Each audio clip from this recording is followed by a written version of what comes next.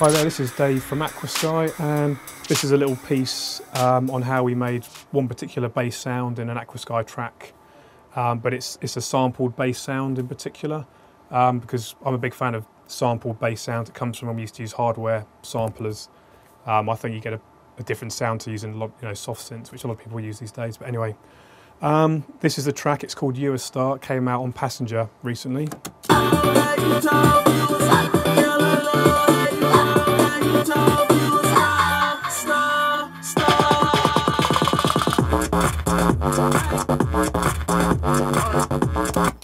That sound there is basically, it's a loop of a sample of a bass sound. And this is how we made it. We use Kontakt a lot for our samples. And I particularly like uh, version 2. You get quite a raw sound with it. You can bung any sound into it, loop it up, mess around with it, and you know, just you get some interesting sounds. So um, to make this bass sound, there's a sound, it's off an old jungle record I just found, and uh, I called it bass 3. So you whack it into Kontakt, and then you give it an output, which I've already set up some outputs. So it's uh, number three output. Give it a, a, MIDI channel you haven't used, I'll give it 16, because it hasn't been used yet. There we go. And then obviously I had to set up a MIDI track, but I'll do that from scratch. So let's make a MIDI track on Cubase. Okay, assign it, channel 16.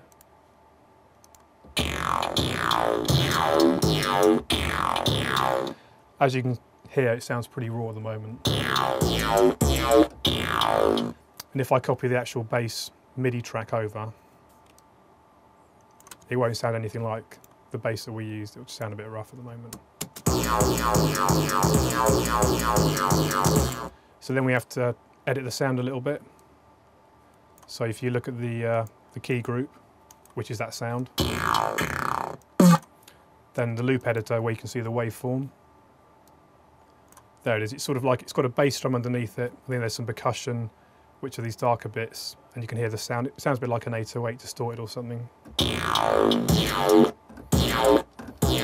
But you can hear the sort of hi-hats behind it. I mean, sometimes these extra little bits make it sound interesting. And what I like to do is loop it up, um, and you get some funny rhythms if your loops aren't exactly in time, which sound good going up and down the key sort of thing. So if I, I'll play the MIDI track, then I'll uh, put a loop on it.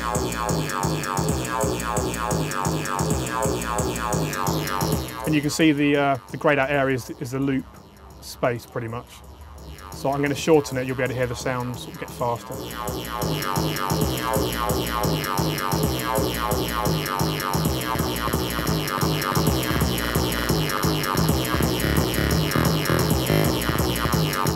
So you can, it's still playing the start of the sample and it's only looping halfway through. So I want it to loop straight away, so I'm going to move the start point.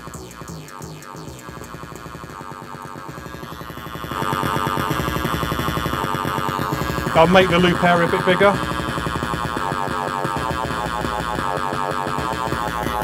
And now you can sort of hear it sounding a bit, you know, a bit tougher, a bit like the sound we used.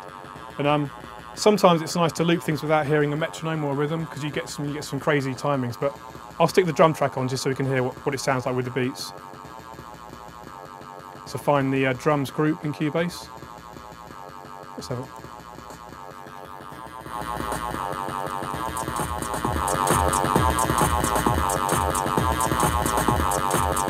So it's a bit overpowering at the moment.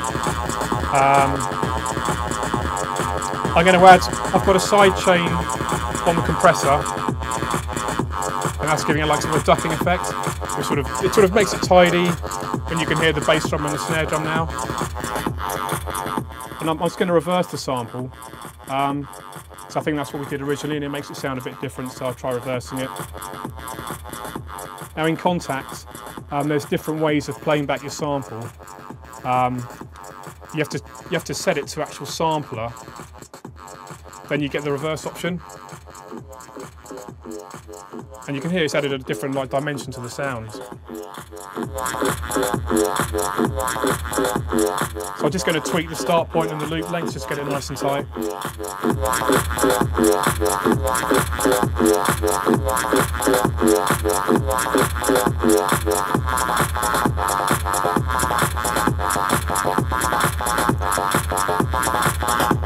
There you have it. I mean, that's, I'll play the original sample bass, see if it sounds like that. Play it all together.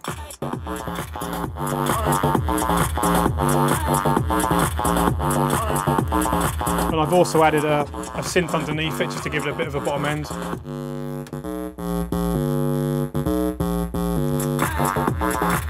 And I'll just show you the, um, the actual group the Kontakt's going through so you can see how I've affected the bass sound with a bit of EQ as well as the compression. So I've got a fine Kontakt in the VST instruments. So there you go. I find a lot of bass sounds, I like to take all the bass off them just to give them more headroom. I mean, you, it doesn't have to be as hard as that, you can sort of take a little bit of bass off and you can just really push the level and you, there's still bottom end in there. In, in, this particular case, I've added a sub underneath it. But I like to, you know, there's the compressor there, it's doing the pumping. If I turn on the, uh, you've probably seen side chaining a lot, so I'll just, I'll just turn it on and show you what happens when I turn it on. It should be a pump track. It's just a bass drum. And there's a bit of a bit crusher, make it a bit harder. Don't know if you can hear it, it's only subtle. But you, you can really sort of it up. Then just a limiter. It sounds odd, but I like to limit things after being pumped. It just sort of, it doesn't cancel each other out, but you can still get the pumping, but it's not as, I don't know, not as harsh sort of thing. Actually, it's not doing anything here, but if I had a bit of, bit of limiting, you can see it's pumping and it's limiting, but you still get the pump because the release is, is actually longer on the limiter, so it takes longer to react.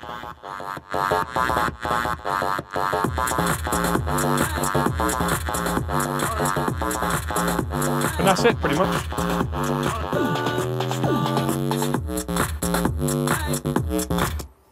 That's how we use sample bass sounds.